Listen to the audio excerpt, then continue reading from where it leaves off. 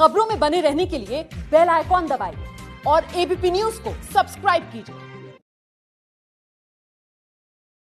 बुलंदशहर में पाँचवें दिन बदमाशों से पुलिस की लगातार मुठभेड़ हुई है। एक मुठभेड़ जहांगीराबाद थाना इलाके में हुई, जबकि खुर्जा में ट्रक लूटकर भाग रहे बदमाशों की पुलिस ने घेराबंदी की।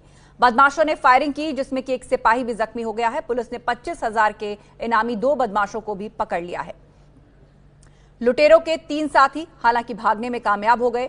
जहांगीराबाद में भी धर्मपाल नाम का अपराधी लूट की वारदात को अंजाम देने जा रहा था, लेकिन पुलिस से उसका सामना हो गया। बदमाश को पैर में गोली लगी है, जिसके बाद पुलिस ने उसको गिरफ़्तार कर लिया है।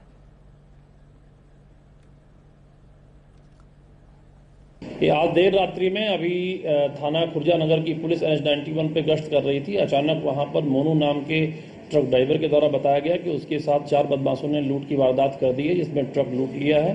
पुलिस तुरंत सक्रिय हुई। खुर्जा नगर की पुलिस और अगल बगल की पुलिस को सक्रिय किया गया। बदमाशों का पीछा किया गया। ट्रक बरामद हो गया। बदमाशों से मुठभेड़ हुई। मुठभेड़ के दौरान एक बदमाश अरेस्ट हुआ है और मुठभेड़ के दौरान एक बदमाश को गोली लगी, जिसका नाम समीर है। एक हमारा पुलिसकर्मी भी घायल हुआ है। तीन बदमाश अभी भागे हुए हैं। काम भी की जा रही है। कई थानों की फोर्स लगाई गई है। जल्दी हम शीघ्र गिरफ़्तार करेंगे उन लोगों को।